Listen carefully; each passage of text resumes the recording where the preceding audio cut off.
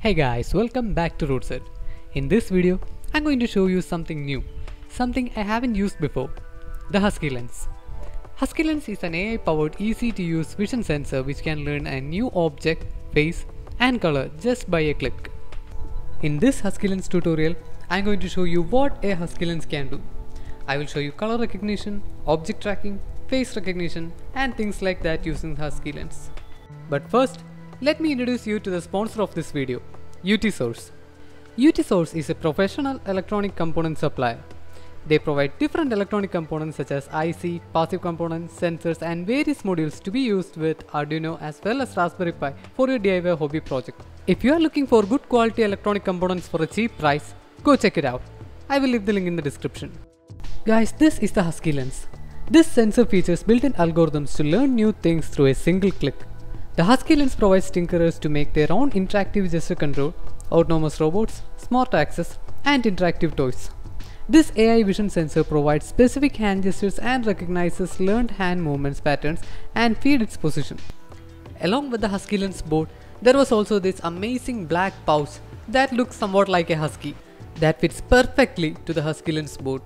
Before going into programming or coding or whatever, let us see what it can do by itself. I am going to power it up with a USB power adapter. When you power it up, you will be able to see this boot screen. As you can see, it boots up really quickly. Now let us take a look at the Husky Lens navigation. As you can see here, there is a button on the top left of this board. If you tap on that, it will show you whatever things you can do with this board. So it has things like face detection, object tracking, object recognition, line tracking, color recognition, tag recognition. Then there are some general settings. First take a look at object tracking. I'm going to take an object like this and put it in front of the Husky lens. Now I push the button and basically put the target mark on whatever I want to track and then click this button. As you can see, it locks the object and turns that box green. From now on, it's going to follow it around the screen. Even if it leaves the field of view, when it comes back in, it usually picks it up.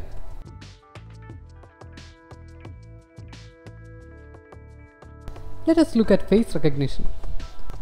Guys, if you find this video useful, consider supporting my channel by giving this video a like and click on the subscribe button here.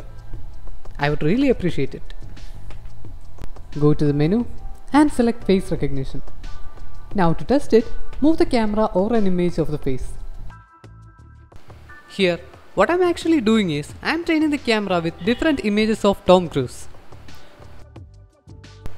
Once the training is complete, it will detect his face anywhere on the screen and mark it as ID1.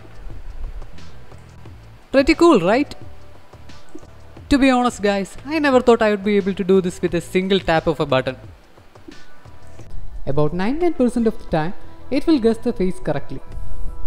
What's interesting is, even on a blurry image, it can detect the face. Guys, and the best thing is, once it is trained with enough images, this face recognition and face detection also works with videos in real time. Now let's take a look at color recognition. So I have a couple of things lying around here with different colors and I have the Husky lens here. I'm gonna push the button and select color recognition.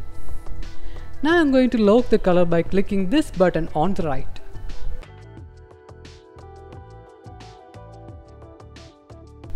Now it has detected the color and locked it. As I move the camera down, the box is trying not to jump over to the other color. As I come back, everything goes back to the way it was. As you can see, it is clearly distinguishing between various colors without any delay.